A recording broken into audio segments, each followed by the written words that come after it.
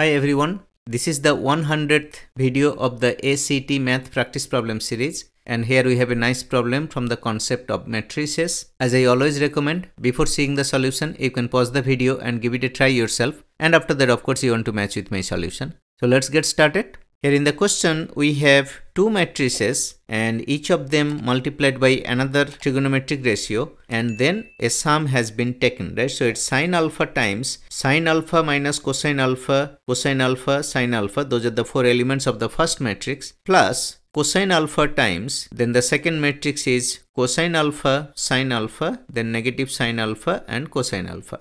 So that's the second matrix and we are taking a sum of these two products, right? Since the original matrices are 2 by 2 matrices, then the result matrix will also be a 2 by 2 matrix. So if the result matrix is going to be a 2 by 2 matrix, then let's assume that the result matrix is equal to something like this. Let's say the final sum, this sum, this entire sum will be equal to, let's assume that this is going to be like a matrix, which is let's say A and B and C and D. Those are the four elements, right, of that matrix, of the result matrix. Let's assume that the four elements of the result matrix are A, B, C and D. And then it will be very easy to calculate the values of A, B, C and D. So now let's say what is A? well a will be equal to sine alpha times sine alpha plus cosine alpha times cosine alpha if you think about the product and then the sum right so it would be sine alpha times sine alpha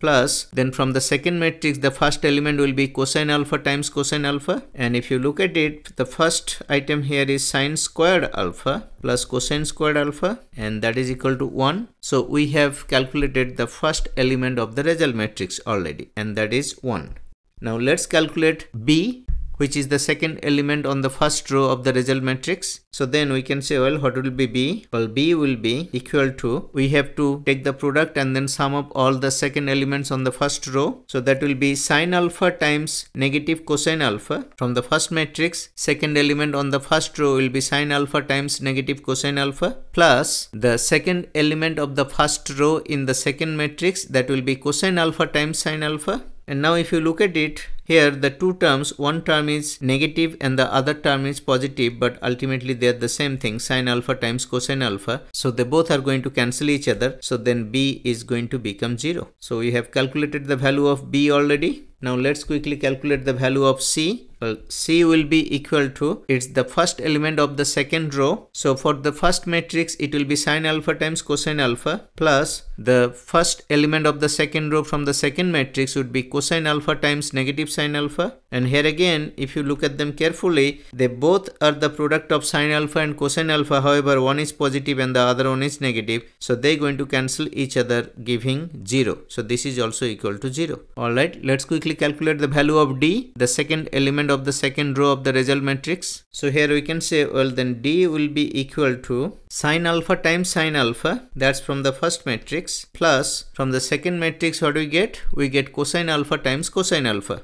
and this is obviously equal to sine square alpha plus cosine square alpha and that is equal to 1. We know that from the Pythagorean identity in trigonometry. So by now we have calculated the values of all the elements of the result matrix. So the result matrix is going to look like this. It will be 1, 0, then 0, 1. So it will be 1, then 0 and then 0 and then 1 and that is our answer. And if you look at the answer options we have this kind of a matrix under option J. So option J would be the correct option. I hope everything made sense. Thank you for watching. See you in the next video